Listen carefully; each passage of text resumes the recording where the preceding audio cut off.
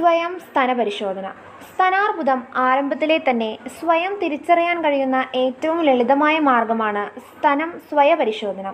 സ്വന്തമായി ഘട്ടങ്ങളായാണ് ഇത് ചെയ്യേണ്ടത്. ഏറിവരുന്ന ക്യാൻസർ നിരക്ക് സ്വയം സ്തനപരിശോധനയുടെ ആവശ്യകത കൂട്ടുന്നു.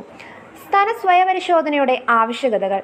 സ്തനകോശങ്ങൾക്കും മറ്റുമുണ്ടായേക്കാവുന്ന മാറ്റങ്ങൾ കണ്ടെത്തുന്നതിന് വേണ്ടി സ്ഥലങ്ങളിലെ മുഴകളെയും മറ്റും കണ്ടെത്തുന്നതിന് വേണ്ടി ജീവിത ആവശ്യം മെച്ചപ്പെടുത്തുന്നതിന് വേണ്ടി.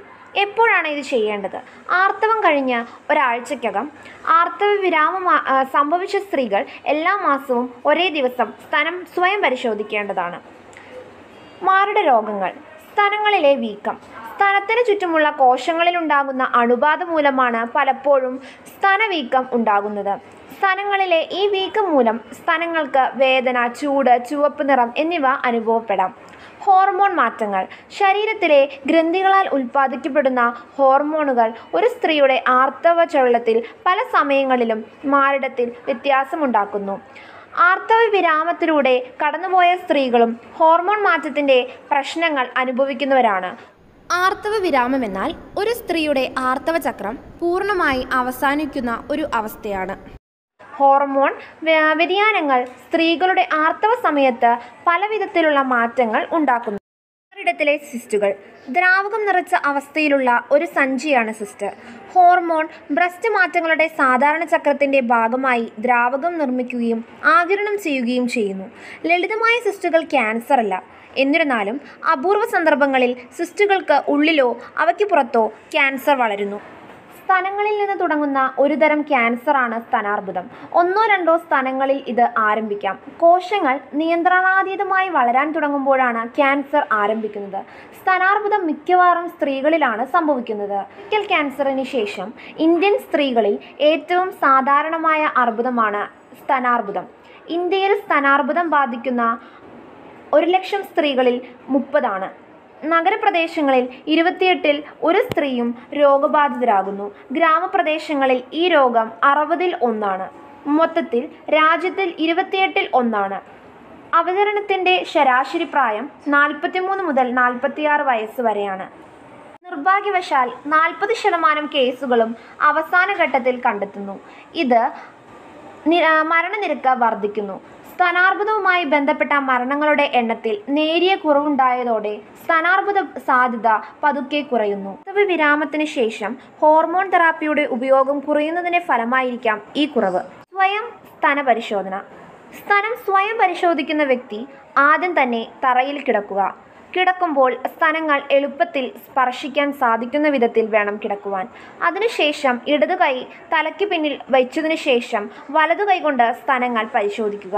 വലതു കൈയിലെ മൂന്ന് നടുവിരലുകളുടെ അറ്റം കൊണ്ട് ഇടതുവശത്തെ സ്ഥാനത്തിന്റെ വിവിധ മർദ്ദത്തിൽ അമർത്തിക്കൊണ്ട് വൃത്താകൃതിയിൽ അമർത്തിക്കൊണ്ടും സ്തനങ്ങൾ പരിശോധിച്ച് മുഴകളോ മറ്റ് വ്യത്യാസങ്ങളോ ഉണ്ടോ എന്ന് തിരിച്ചറിയുക. സ്തനങ്ങൾ പരിശോധിക്കുമ്പോൾ വ്യത്യസ്ത മർദ്ദം ഉപയോഗിച്ചാണ് പരിശോധന നടത്തേണ്ടത്. നേരിയ മർദ്ദം ഉപയോഗിച്ച് ഏറ്റവും പുറമേയുള്ള കോശങ്ങളും ഇടത്തരം മർദ്ദം ഉപയോഗിച്ച് ആഴത്തിലുള്ള കോശങ്ങളും ഉറച്ച മർദ്ദത്തിൽ നെഞ്ചിന് വാരിയലിനും ഏറ്റവും അടുത്തുള്ളതുമായ കോശങ്ങളാണ് പരിശോധിക്കേണ്ടത്. സ്ഥലങ്ങൾ പരിശോധിക്കുമ്പോൾ പ്രധാനമായും മുകളിലേക്കും താഴേക്കുമാണ് പരിശോധിക്കേണ്ടത്. കക്ഷത്തിൽ നിന്ന് നേരെ സാങ്കല്പികമായ വരയ്ക്കും പരിശോധിച്ച് നീങ്ങുക. അതേ രീതിയിൽ സ്ഥലം മുഴുവനായും പരിശോധിക്കുക. ഇതേ രീതിയിൽ ഇടത്തുകൈ ഉപയോഗിച്ച് വലതുവശത്തുള്ള സ്ഥലവും പരിശോധിക്കുക. അതുപോലെ തന്നെ ലിംഫ് ഗ്രന്ഥികളും പരിശോധിക്കുക. ലിംഫ് ഗ്രന്ഥികൾ നമ്മുടെ രോഗപ്രതിരോധ പ്രവർത്തനങ്ങൾക്ക് വേണ്ടിയാണ്. ആദ്യം നേരിയ മർദ്ദം ഉപയോഗിച്ചും പിന്നീട് ഇടത്തരം മർദ്ദം ഉപയോഗിച്ചും പിന്നീട് ഉറച്ച മർദ്ദം ഉപയോഗിച്ചും കക്ഷത്തിലെ മുഴകൾ പരിശോധിക്കുക. ഒരു കണ്ണാടിയുടെ മുന്നിൽ നിൽക്കുക. നിങ്ങളുടെ കൈകൾ നിങ്ങളുടെ ഇടുപ്പിൽ ദൃഢമായി വയ്ക്കുക ഇത് പെക്ടോറാലിസ് എന്ന പേശികളെ ദൃഢമാക്കുന്നു. അതിനുശേഷം സ്തനത്തിന്റെ തൊലിയും മുലക്കണ്ണിയും നിരീക്ഷിക്കുക.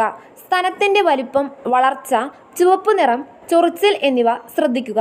അവസാനമായി കൈ ചെറുതായി ഉയർത്തി നിർത്തിയതിനു ശേഷവും ഇരുന്നതിന് ശേഷം സ്തനത്തിൽ എന്തെങ്കിലും മുഴകളോ കട്ടിയായ പേശികളോ ഉണ്ടോ എന്ന് പരിശോധിക്കുക. ഇന്ത്യൻ സ്ത്രീകളിൽ സ്തനാർബുദം ഒന്നാം സ്ഥാനത്താണ്. സ്തനാർബുദം നമ്മൾ തീർച്ചയായും അറിഞ്ഞിരിക്കേണ്ട കാര്യമാണ്.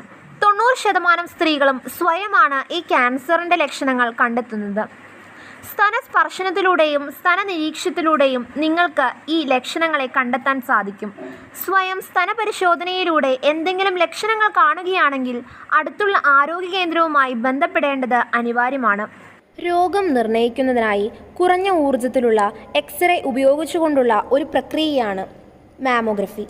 അൻപതിനും അൻപത്തിനാലിനും ഇടയിൽ പ്രായമുള്ള സ്ത്രീകൾ വർഷം തോറും മാമോഗ്രഫിയുടെ സഹായത്താൽ പരിശോധന നടത്തേണ്ടത് അനിവാര്യമാണ്. അൻപത്തിയഞ്ച് വയസ്സിനും അതിൽ കൂടുതലുമുള്ള സ്ത്രീകൾ രണ്ടു വർഷത്തിലൊരിക്കൽ മാമോഗ്രഫി ഉപയോഗിച്ച് സ്ക്രീനിംഗ് ചെയ്യണം. ഒക്ടോബർ മാസം സ്ഥാനാർബുദ ബോധവൽക്കരണ മാസമായി ആചരിക്കുന്നു. ഒരു മാസം നീണ്ടു നിൽക്കുന്ന ഈ പരിപാടി ക്യാൻസറിനെ കുറിച്ചുള്ള അവബോധം സൃഷ്ടിക്കാൻ സഹായിക്കുന്നു. നേരത്തെയുള്ള രോഗനിർണയം സ്ഥാനാർബുദ രോഗിയുടെ ജീവൻ രക്ഷിക്കാൻ സഹായിക്കുന്നു. ഏതൊരു അസുഖവും വന്നിട്ട് ചികിത്സിക്കുന്നതിനേക്കാൾ വരാതെ നോക്കുന്നതാണ് നല്ലത്. ക്യാൻസറിന്റെ കാര്യത്തിൽ ഇത് പല മടങ്ങ് ശരിയാണ്. സന്തോഷത്തോടെ ജീവിക്കുക. മറ്റുള്ളവരെ അതിനായി പ്രേരിപ്പിക്കുക.